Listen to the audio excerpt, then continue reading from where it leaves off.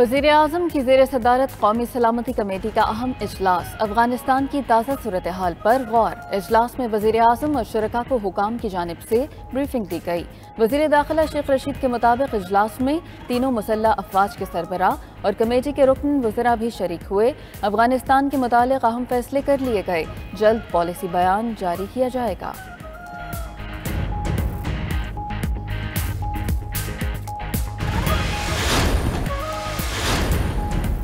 Kabul airport पर security की गैर यकीनी सूरत हाल पी आई ए ने परवाजें मुअत्तल कर दी। तर्जुमान के मुताबिक काबुल एयरपोर्ट पर सिक्योरिटी और एयरपोर्ट स्टाफ मौजूद नहीं। परवाजें मुअत्तल करने का फैसला वजारत खारजा से मुशावरत के बाद किया। काबुल से पाकिस्तानियों की वापसी के लिए जल्द अज जल्द परवाजें रिशेड्यूल करेंगे।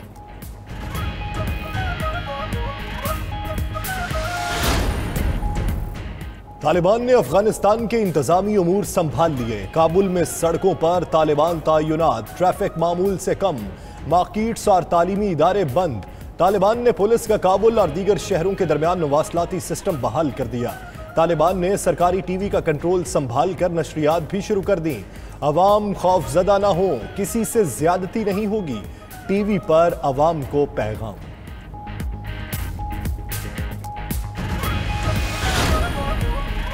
हमारी असल आजमाइश अब शुरू हुई है। अवाम की खिदमत करके दुनिया के लिए मिसाल कायम करेंगे। अफगान तालिबान के नायब सरबरा मुला अब्दुल गनी बरदर का वीडियो पैगाम। काबुल में गैर मुल्कियों को सिक्योरिटी फराहम करने की यकीन दहानी। बोले सफारत खानों इदारों और स्टाफ को कोई खतरा नहीं।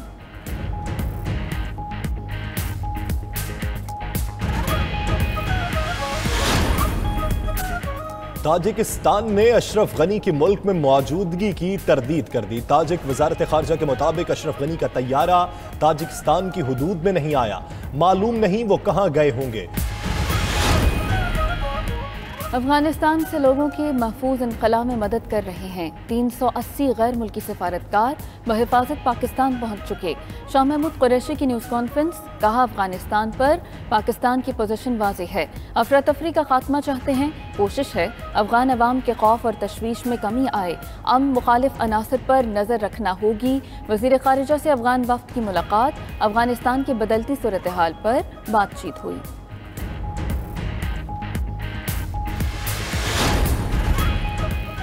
अफ़गानिस्तान की सूरत हाल वजारत दाखिला ने वीज़ा ऑन अराइवल के लिए सहूलत सेंटर बना दिया। वजारत दाखिला का खसूसी सेंटर सिफारतकारों के साथ रबते में रहेगा। वजारत दाखिला की जानब से मजीद मालूम के लिए नंबर भी जारी। सहूलत सेंटर सेक्शन ऑफिसर की निगरानी में चौबीस घंटे काम करेगा।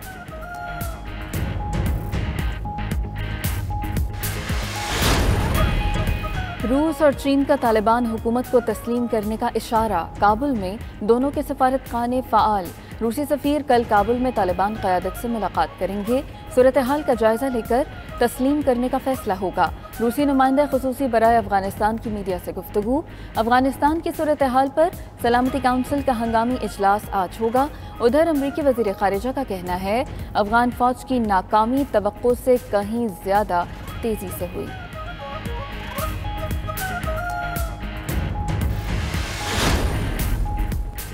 अफ़गानिस्तान की ताज़ा सूरत हाल पर गौर के लिए बिलावल भुट्टो की जेर सदारत पीपल्स पार्टी की मजलिस आमला का इजलास, फरियाल तालपुर, मुराद शाह, शहरी रहमान शरीक, यूसुफ रजा गैलानी, एतजाज एहसन और मखदूम अहमद की वीडियो लिंक के ज़रिए शिरकत। दूसरी जानब सैनट कायमा कमेटी, दिफा का इन कैमरा इजलास।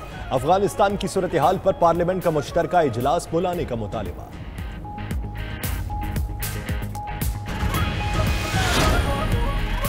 सबक वज़ीर दाखिला रहमान मलिक कबल अज वक्त इंतबात के लिए पुरुद बिलावल हाउस के बाहर मीडिया से गुफ्तु में कहा हुकूमती अहदेदारों की तकरीरों से लगता है वो कबल अज वक्त इंतबात कराने जा रहे हैं तालिबान का आना नवशता दीवार था अशरफ गनी का इस्तीफ़ा देना अच्छी बात है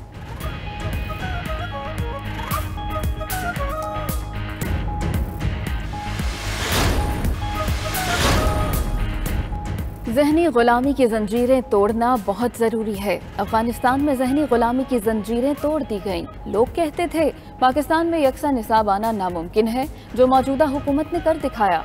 वज़ीर अजम ने मुल्क में यकसा निसाब तालीम का इजरा कर दिया।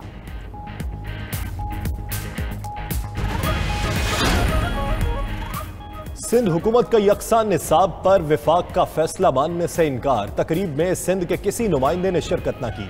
विफाकी वज़ीर तालीम शफकत महमूद का कहना है, यकसा निसाब के लिए कई चैलेंजेस का सामना रहा। अभी कुछ सियासी रुकावटें हैं।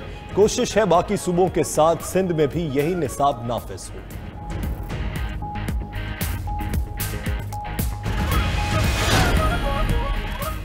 वज़ीर अजम से chairman special technology zone authority Amir Hashmi की मुलाकात। इस्लामाबाद टेक्नोपोलिस की पेशरफ पर गुफ्तु इमरान खान ने कहा कि टेक्नोलॉजी शोबे की बरामदात में इजाफा तरजीहत में शामिल है।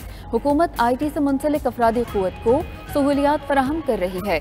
आमिर हाशमी ने कहा, मुल्की और गैर मुल्की कंपनीज़ टेक्नोलॉजी जोन्स में सरमाकारी में दिलचस्पी रखती हैं।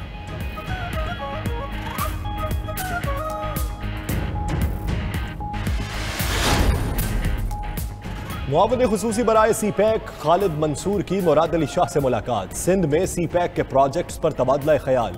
सिंध थर ब्लॉक सिक्स में गैस लिक्विड की मंजूरी पर बातचीत। कोयले से लिक्विड, गैस और खाद की पॉलिसी बनाने पर भी बात हुई। वज़ीर अला ने कहा, विफाक इस्लाम कोट से छोर तक 105 किलोमीटर रेलवे लाइन बिछाने के काम को अव्वलियत।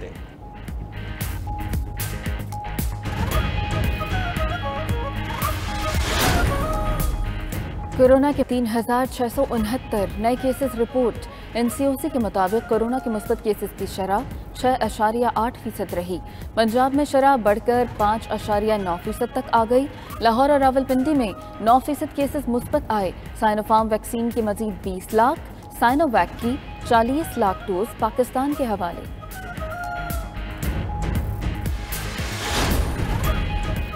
मनी लॉन्ड्रिंग केस में शहबाज शरीफ और हमजा शहबाज की अबूरी जमानत में चार सितंबर तक तोसी लाहौर की बैंकिंग कोर्ट ने आइंदा समात पर तफ्तीशी ऑफिसर से रिपोर्ट तलब कर ली। शहबाज शरीफ, रमज़ान शुगर मिल्स और आशियाना इकबाल हाउसिंग केस में एहतसाब अदालत में भी पेश हुए। समात 16 सितंबर तक मुलतवी।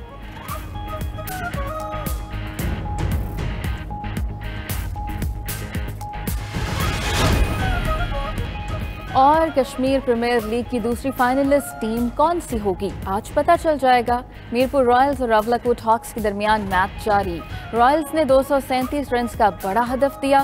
शर्जील खान के शानदार 141 रन हदफ के ताकुब में हॉक्स की बैटिंग।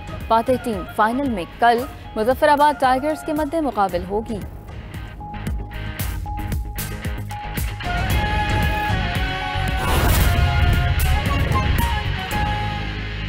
ताजिकिस्तान ने सबक अफगान सदर अशरफ गनी की मुल्क में मौजूदगी की तरदीद कर दी है। खबर एजेंसी के मुताबिक ताजिकिस्तान की वजारत खारजा ने कहा है कि अशरफ गनी का तैयारा ताजिकिस्तान की हदूद में नहीं है। ये भी कहा कि वो ताजिकिस्तान में मौजूद नहीं है।